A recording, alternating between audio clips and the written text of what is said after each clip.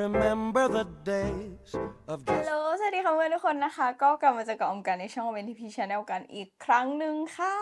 ซึ่งในวันนี้ออมมาทำ What's in my bag ในรอบปีปีหนึ่งได้แล้วนะคะ ก็เลยอาถือโอกาสแล้วก็มีหลาย ๆ คนเรียกร้องอยากให้ทำรีวิวกระเป๋าใบนี้แบบเต็ม ๆ ก็เลยจะมารีวิวให้ดูนะคะ แล้วก็ทำ What's in my bag ไปด้วยเลยนะคะ นั่นก็คือน้องคนนี้ค่ะทุกคนเป็นน้อง Miu Miu ตัวนี้นะคะ นี่เลยให้ดูนะคะ เดี๋ยวออมถ่ายให้ดูใกล้ๆนี่ น้องจะมีทั้งหมดนะทุกคนหนึ่งสองสามสี่ห้าห้ากระเป๋าเล็ก แล้วก็หนึ่งกระเป๋าใหญ่ตรงกลางนะคะด้านบนเป็นแบบนี้แล้วก็ตัวสายเนาะเป็นสายแบบนี้อย่างเดียวนะคะ ปรับไม่ได้เนาะแต่ว่าตัวสายเขาทำมาค่อนข้างแบบโอเคนะสำหรับแบบแขนออมคือไม่ได้สั้นจนเกินไป ไม่ได้ยาวจนเกินไป ถือว่าโอเคมากๆเลย เรามาดูก่อนนะคะ โดยปกติที่ออมใช้เนี่ยออมไม่ได้เอาแบบ เขาเรียกว่าไงตัวกระดาษที่ยัดอออก เพราะว่าออมใช้แค่ช่องกลางช่องเดียว ถ้าสมมติว่าวันไหนที่มีของเยอะๆแล้วอยากจะพกของเยอะจริงๆก็อาจจะมีเอาออกบ้างบางช่อง เพราะว่าถ้าเอาออกปุ๊บน้องจะเหี่ยวทันทีก็เลยต้องมีการยัดไว้ตลอดนะคะ ตรงนี้ก็คือยัดไว้หมดนะ ตรงเนี้ยยัดไว้หมดเลยนะคะ แล้วก็เอ่อตัวตัวหนังของเขาเอาไม่แน่ใจว่าเป็นหนังอะไร เดี๋ยวจะหาข้อมูลมาแปะไว้ให้เนาะอะไหล่เขาจะเป็นอะไหล่สีทองนะคะออมชอบมากเป็นเป็นใบที่ตามหาแบบตอนไปเที่ยวแบบนานมากเนาะที่เคยพูดไปนะคะ ขอพูดถึงข้อดีก่อน ข้อดีของเขาคือจุของได้เยอะนะคะ แล้วก็น้ำหนักกระเป๋าค่อนข้างเบาเวลาใส่ของมันไม่ได้ทำให้หนักเพิ่มขึ้นนะคะ แล้วก็ดีไซน์สวยมากเก๋มากแบบเท่มากเป็น inspire ให้กับหลาย ๆ แบรนด์เท่าที่ออมรู้สึกนะ แบรนด์เกาหลีหลายๆแบรนด์หรือว่าแบรนด์ไทยหลาย ๆ แบรนด์ก็มีกระเป๋าลักษณะที่แบบกระเป๋าเยอะๆเยอะๆเยอะๆเต็มไปหมดแบบ feel cargo bag อะไรเงี้ยค่อนข้างเยอะเลยหลังจากที่ใบนี้ออกมานะคะ ก็ถือว่าปลุกกระแส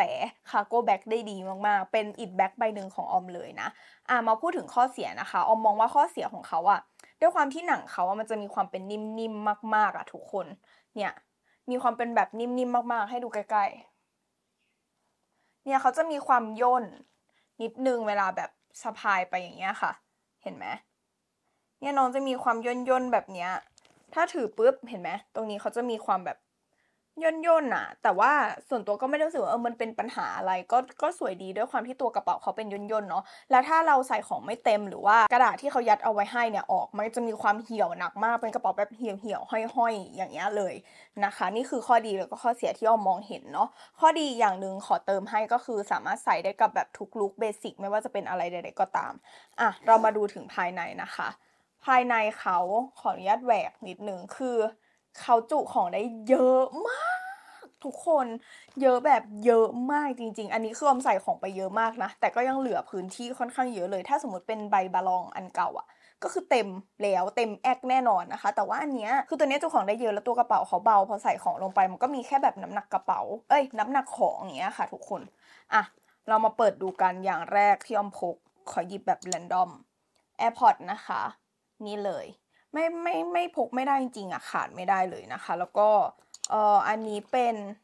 นี่ที่ชาร์จสำรองนะคะ เป็นของยี่ห้อนี้ไม่แน่ใจว่าคลิปอื่นได้พูดไปหรือยังเป็นของ Remax นะคะ เขาจะมีแบบสายอันนี้มาให้เลยอะทุกคน คือเราสามารถแบบแกะใช้ได้เลยเห็นปะ เราไม่ต้องพกอะไรให้แบบมันยุ่งยากหลายสิ่ง 80 อย่างในกระเป๋านะคะ ก็คือ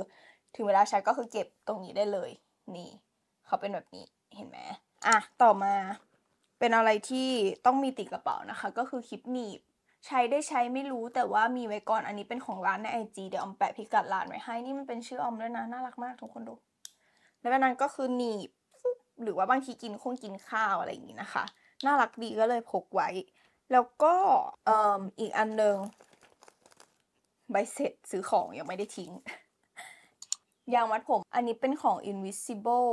ใช่ไหม ถ้าจะไม่ผิดที่มันแบบขยายแล้วก็หดได้นะ อันนี้นะคะดีมากแบบ คือเขาไม่กินผมอะแต่ออมทำให้ดูคืออะถ้าสมมติว่าออมมัดแบบนี้ สมมติสมมติแค่มัดโชว์นิดเดียว คือเขาไม่กินผมแล้วก็ไม่ทำให้เจ็บหัว เนี่ย มันจะแบบมันจะอยู่มากๆอะไรอย่างเงี้ยค่ะ เป็นยางยางมัดผมที่ติดหัวดีแล้วก็มัดอยู่แล้วก็ไม่กินผม